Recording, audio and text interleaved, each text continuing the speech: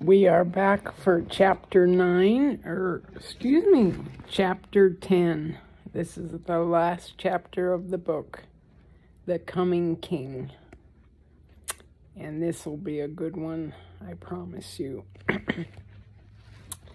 the scripture is John 14, 1 through 3.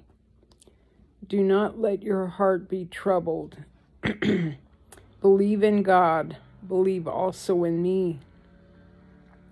In my Father's house are many dwelling places.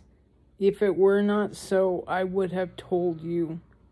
For I go and prepare a place for you.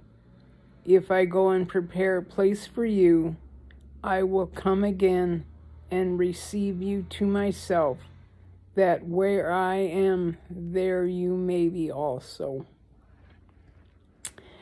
I am a preschool dropout. Actually, I didn't drop out. I was asked not to return. My memories are vague. Excuse me. My memories are vague of that preschool. I can see the winding streets with lots of trees and houses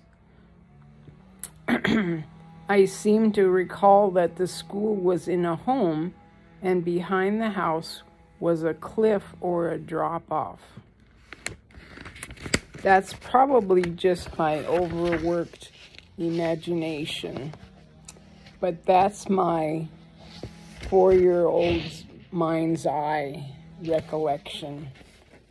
I can remember standing in front of the in the front entryway of the house, and there was a big playroom with dress ups hanging on hooks on the far side of the room. There were crafts and other small children. I hated it. As soon as I got in the doorway, the tears were flowing. I only wanted to be with my mom and I cried. Oh, I'm sorry, Kristen. I cried from the moment she dropped me off until the second she picked me back up again. This started on a Monday, and when and by Friday, when my mom came to the door for me, the teacher said to her, again, the memory of a four-year-old, "You won't be needing to bring her back on Monday. I looked at my mom, and apparently she didn't need any further explanation. I wholeheartedly agreed with the teacher because I didn't think my mom needed to bring me there in the first place. Thus, my short stint as a preschooler ended, and joy returned to my life. I didn't like the nursery at church either. I can remember watching for that half door to swing open during the whole time I was there. Occasionally it would start to open and I would stand to put my toys away, ready to leave with my parents. But it would be a false alarm a different parent or that usher who counted how many souls were in the building that morning was there. I had this dread that all the children would get picked up and the half door would close and I would be left at church. But that never happened. Mom always came and got me and joy returned to my life. When I entered kindergarten, I had an older sister who was in third grade, and we rode the bus together on the way to school. But every, excuse me, I'm sorry, but every day I rode the bus home from school at noon by myself. I was dropped off at the end of our road, Curling Pond Road. Isn't that a pretty name? and I had to walk about five miles to my house through, the woods where scary snakes could slither out at any, any moment, all by myself. In actuality, it was probably only a quarter of a mile, and I never did see a snake. I know Kristen has a deathly fear of snakes. Once I arrived home before my mother, who had been running errands, the house was locked, and so I sat on the milk box outside the back door and cried, convinced that Jesus had returned and taken my mother to heaven and left me here on earth to fend for myself. About four minutes later, she pulled into the driveway and joy returned to my life. As you can tell, I was a bit attached to my mom. I loved her with all my heart, and I just wanted to be with her. I would count the minutes until I could get back home so that all would be right in my life. Needless to say, as a small child, I anticipated her arrival whenever we were separated. A few years have passed. Fine. A lot of years. And I still love her dearly. But we are separated by most of America, and I handle it just fine. As I developed emotionally and mentally, I came to understand that her love for me was always present whether or not we were in the same house. Our, I love our times together and always look forward to when I see her again. My father is with the Lord, and I have a true anticipation for that reunion also.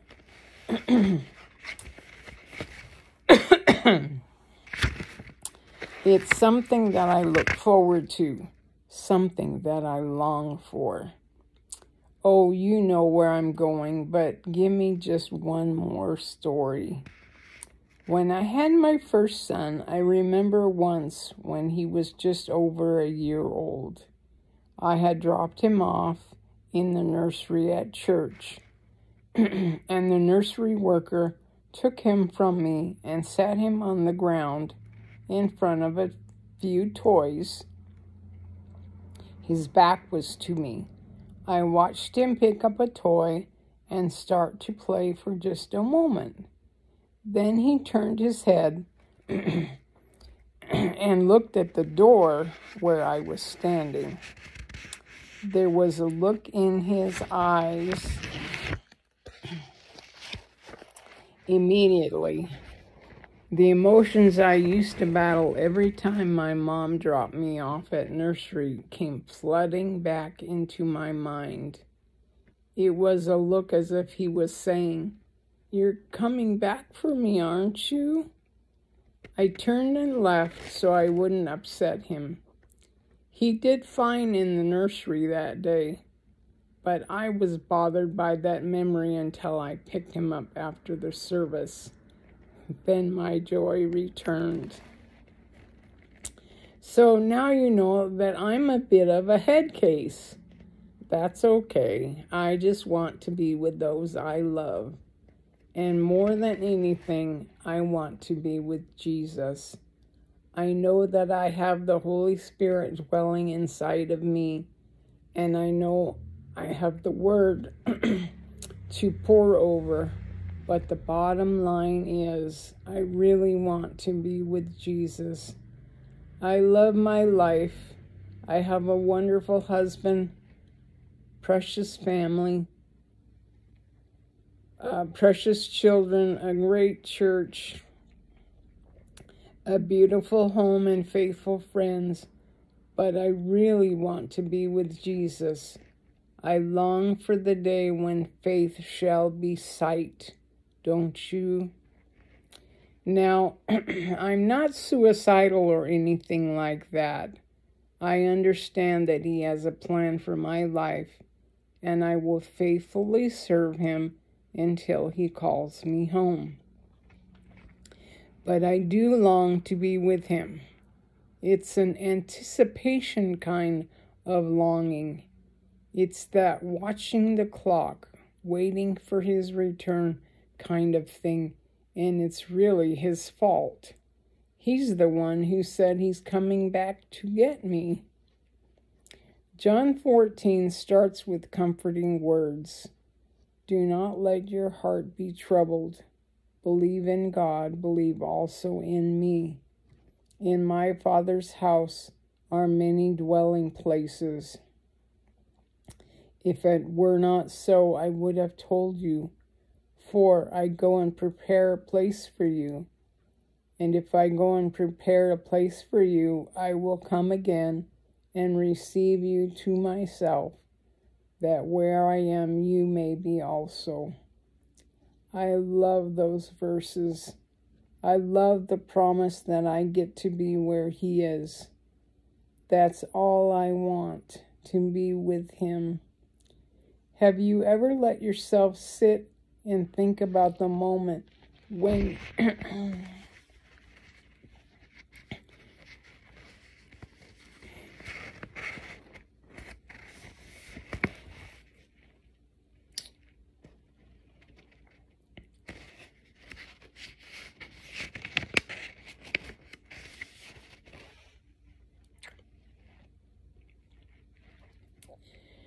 when you will see Jesus I do I do all the time now.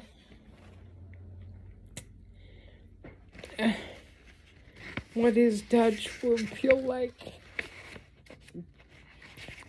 How how about the sound of his voice? Have you tried to embrace what heaven will be like? What your heart will feel like without the struggle of the flesh? Do you ever wonder what a dwelling place prepared by Jesus will look like? So many unknowns. Oh, for our imagine, imagination to wrap its arms around.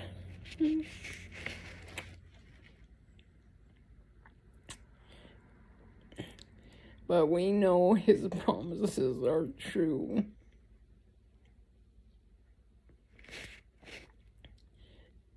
And greater than that, promised dwelling place are four little words.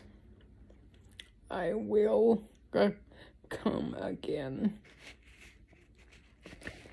I'm going to end right there today and you'll have to forgive the tears because my nurse was here today. Eh. She didn't know if I would make it until the birth of Annie's baby. And I find myself in quite a conundrum. I want to see Jesus so bad, but I would like to see the baby too. And it's all in his hands and I have to rest in his plan. I'm sorry for the tears. It's just um, the way it is today and I got the news that um,